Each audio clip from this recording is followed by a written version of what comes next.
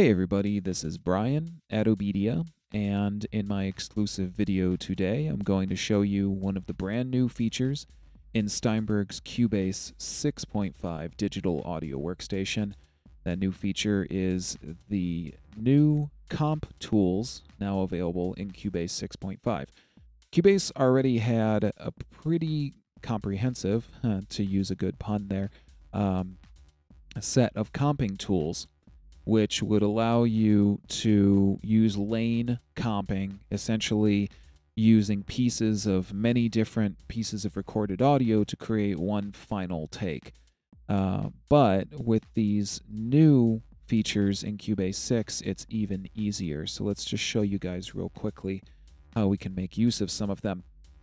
So I have some drums here uh, on a couple different lanes, and initially you're not going to see any of your your lanes in Cubase if you've done some loop recording uh, inside of Cubase. So in order to get some lanes, you would either need to show all of the lanes on an audio track by clicking on the Show Lanes button right here, or you would have had to have uh, done some loop recording in Cubase by putting your transport into loop mode and recording. Either way, if you do that, you're going to have some lanes available on a single track. So what this essentially means is one single track is made up of a number of different layers, or in this case, lanes.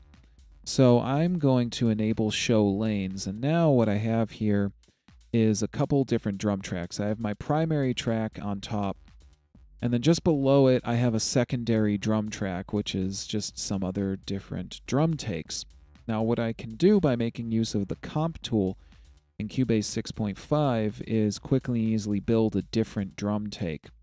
Now, that's the biggest new feature that is new here is the comp tool in Cubase 6.5. It's right up here in the tools menu. Looks like like the hand tool that we've gone to know in a lot of digital audio workstation environments, but in this case, the comp tool is dedicated uh, only to comping, only to be able to build new takes by using the comp tool, uh, by using different pieces of audio. So let me show you how this is done.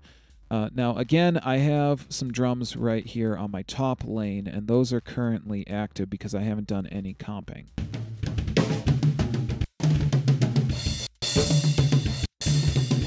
So that's my current active uh, drum take on the top. But Again, down here underneath uh, that take on lane number one, I have some other drums. Now, if you want to start off by auditioning different pieces of the takes that you're going to make use of on the different layers, you can hold down the control key on your keyboard if you're on a PC, command if you're on the Mac. This will invoke the speaker tool, and this way you can click in various parts of the lane that you're working on and listen to just that piece of the comp lane that you're working with. So that way you can find the piece that you're looking for. Now, after you have done that, you can start comping. So if you know specifically what you want to make use of, all you need to do with the comp tool is simply find the range which you would like to make use of, and now just click and drag to select the section which you'd like to make use of. So I'm just going to select this section right here. So now you're going to notice that in the range selection which I have made, I now have this darker waveform. And what's going to happen now if I play back is that my top lane is going to play until I reach this certain point, in which case that range selection that I made is going to play. So let me show you what that sounds like.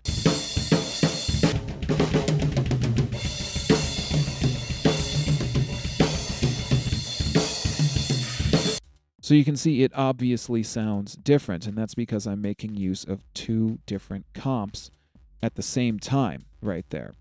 So now I can also switch this comp range off by simply clicking it. So if I click it, I'm now going to only be making use of my top lane. But if I want to bring that piece back in, I simply need to click it with the comp tool and now it's going to be active again. Now also, after I have made a comp range selection, I can move my mouse to the right or the left of that range and I can grab and move the size of that comp range selection.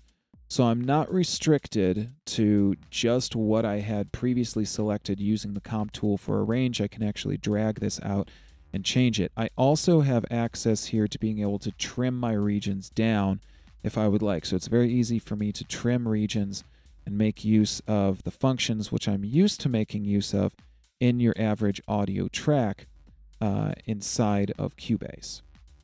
Now, if you want to change the timing of a selected range, uh, which you have made using the comp tool, that's really easy to do. If you're on the PC, you're going to hold down Control and Alt. And if you're on the Mac, you're going to hold down Command and Option.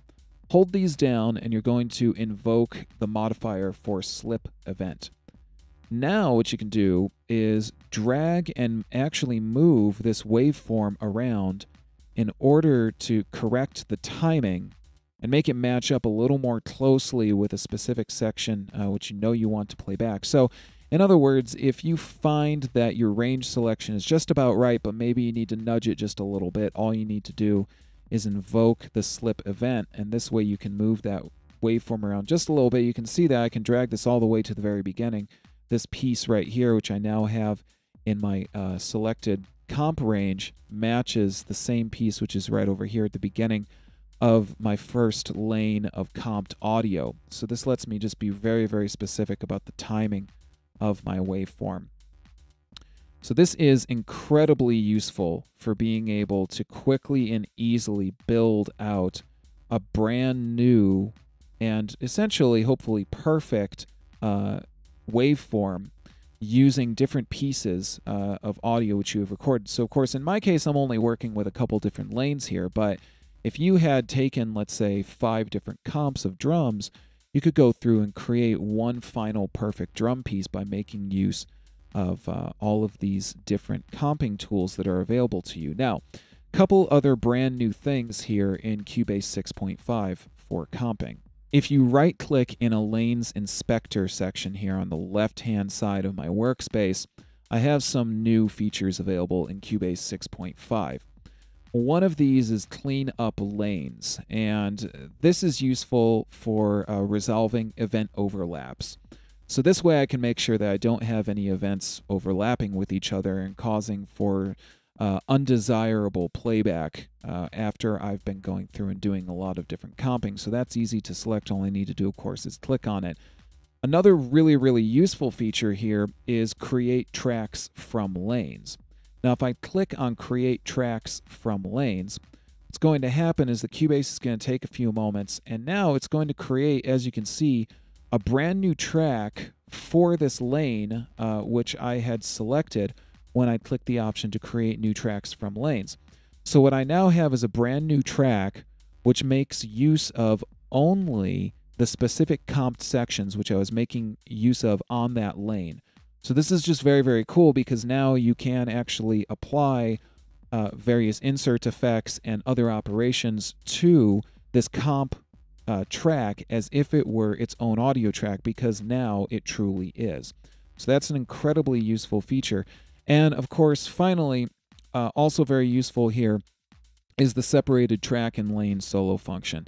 So this way I can uh, quickly solo a lane that I'm working with or solo just the track that I uh, want to be paying more attention to while I'm working in the mix and I can find the perfect mix uh, for my comp mix as I work along using the comp tool and really kind of designing again my own perfect mix here in Cubase 6.5. So there you go, guys. You can see how useful the comp tool really is. Uh, very, very easy and quick to use. Uh, and very, very simple because that's what's really important. Uh, and this is something that Cubase, I think, has paid a lot of attention to in designing the brand new comp tool. They've worked very closely with studio engineers to find out what it is that they need for being able to quickly and easily adjust and make comps while they're working in, in Cubase. So I hope you guys found this useful. As always, please stay in touch with me. My email address is brian at obedia.com. You can get me on Twitter at twitter.com forward slash obedia tutor, and of course on Facebook at facebook.com forward slash obedia tutor. As always, give me a call. Find out how you can work one on one with us get the most out of your digital audio hardware and software. Will help you attain your technology, which is what we do best here at Obedia. Thank you guys so much for watching, and I'll see you next time. Take care.